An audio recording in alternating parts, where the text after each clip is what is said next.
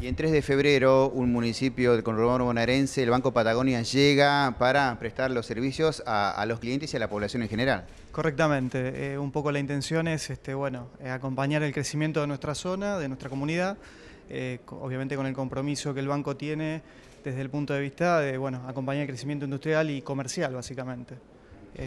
¿Cuál es la, la expectativa ¿no? con respecto al crecimiento del banco en estas zonas donde permanentemente hay un desarrollo eh, económico y comercial muy importante?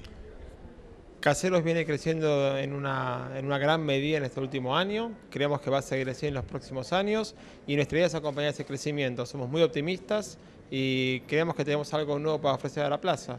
Nos caracterizamos por una excelente calidad de servicio y creemos que de esa manera podemos contribuir a dar una nueva opción a todos los vecinos, empresarios de, de la zona de Caseros. ¿Cómo se llegó a pensar en este municipio para uh, ubicarla esta sucursal?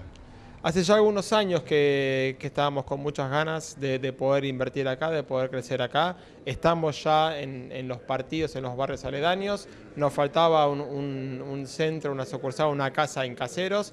Y dada la actividad y la potencialidad de la zona, era, era casi una novedad para nosotros poder venir a instalarnos. Estamos muy contentos. Para los clientes, eh, ¿cuál es el mensaje? ¿Con qué se van a encontrar aquí? Se van a encontrar con una atención este, personalizada, eh, de, de- de- de profesionales básicamente, este, y pensando claramente en bueno, atender la necesidad que cada una de las empresas o cada uno de los comercios tenga eh, como para bueno, satisfacerlo de la mejor forma posible.